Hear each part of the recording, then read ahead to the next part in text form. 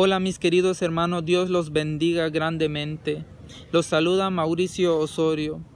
Quiero hablarles en este pequeño video sobre las sectas protestantes, de quiénes son los anticristo, de dónde salieron estas personas, quiénes son. Aquí lo vamos a escuchar en la bendita palabra de nuestro Señor. Tomado de la primera carta del apóstol San Juan en el capítulo 2, verso 18. Dice así, hijitos, es la última hora y han oído que va a venir un anticristo, pero ya han venido varios anticristos, por lo cual conocemos que es la última hora. Esta gente salió de entre nosotros, pero no eran de los nuestros. Si hubieran sido de los nuestros, se habrían quedado con nosotros.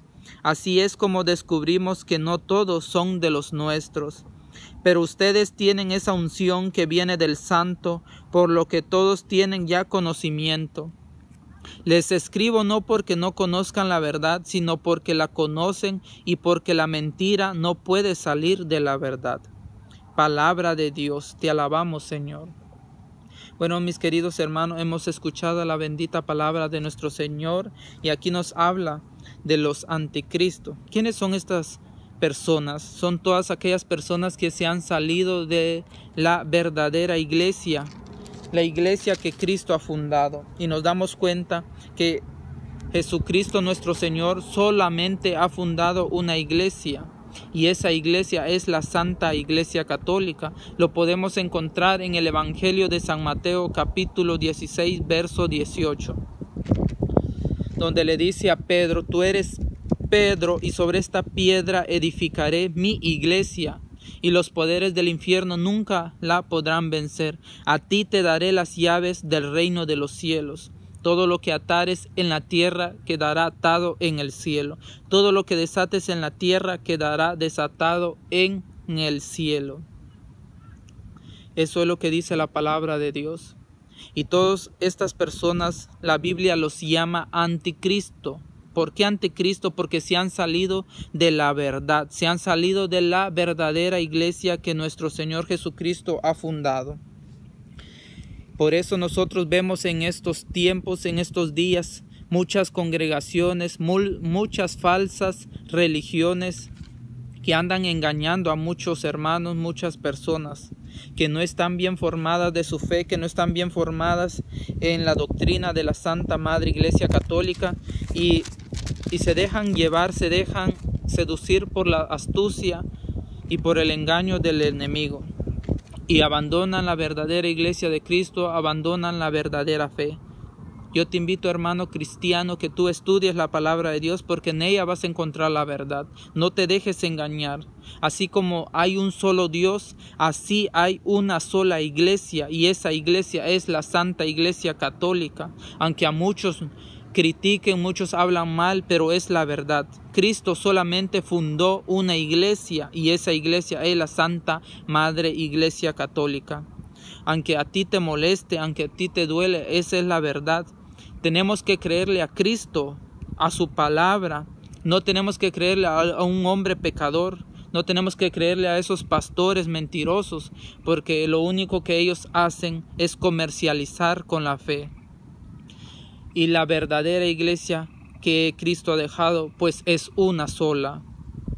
Lo dice la palabra de Dios, no lo dice los sacerdotes, no lo, inventa, no lo inventó el Papa, no lo digo yo, lo dice la palabra de Dios. Cristo mismo funda su iglesia sobre su apóstol Pedro. Así que no nos dejemos engañar. Todas estas congregaciones que hay por el mundo entero esas son falsas religiones, falsas congregaciones, falsos grupos que solo buscan engañar a las personas que no están bien formadas en su fe.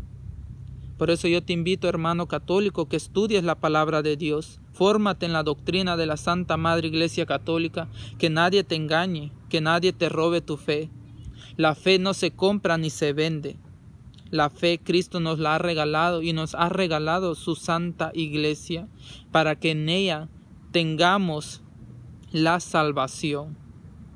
Porque la palabra de Dios dice en Hechos de los apóstoles que fuera de la iglesia no hay salvación. Tenemos que pertenecer a la iglesia para poder ser salvos. La iglesia es base, columna y fundamento de la verdad.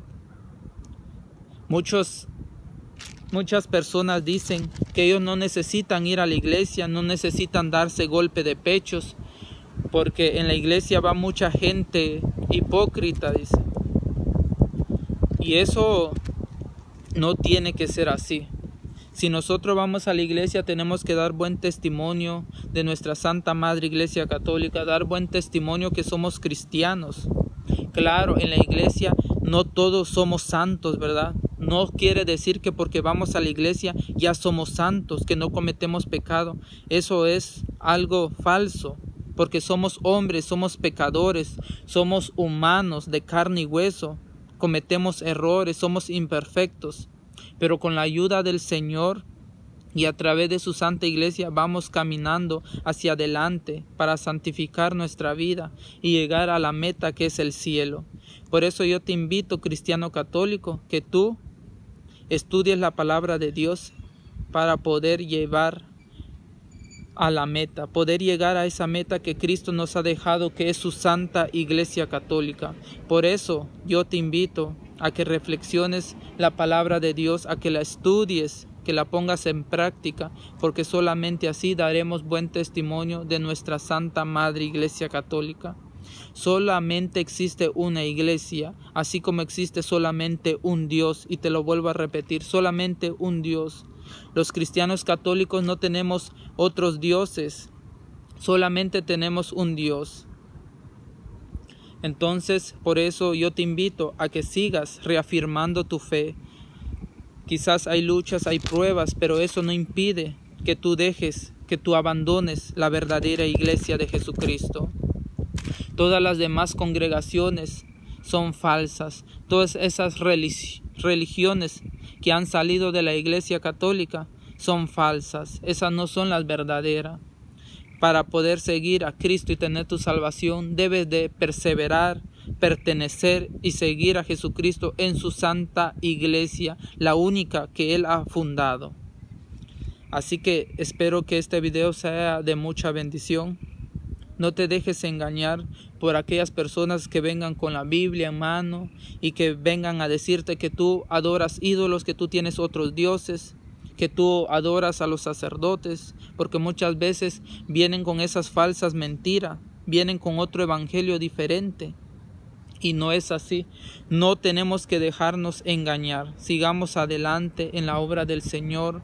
Sigamos fieles a Jesucristo, fieles a su iglesia, fieles al Papa Francisco porque Él es el vicario de Cristo, Él es el máximo líder de la Santa Iglesia Católica, Él es el que guía al pueblo de Dios a través del Espíritu Santo, porque Él es porque el Espíritu Santo es el que guía al Papa Francisco.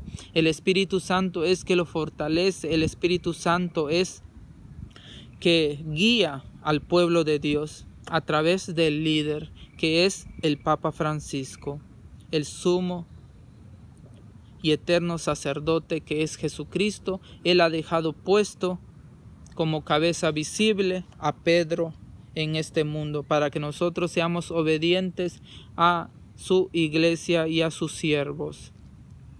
Espero que te haya sido de bendición este video y que no te dejes engañar. Las sectas protestantes, las evangélicas, mormones, testigos de Jehová, pentecostales, adventistas, todas estas sectas son falsas, son congregaciones falsas. Estas sectas son fundadas por hombres pecadores, así como tú y como yo. Jesucristo fundó su iglesia, Él es el santo por los siglos de los siglos. Amén. Alabado sea Jesucristo. Dios te bendiga. Comparte este video si es de bendición para tu vida, para que muchos hermanos se formen en la doctrina de la Iglesia Católica. Comparte este video a todos nuestros hermanos y que llegue a muchas personas que no conocen nuestra fe.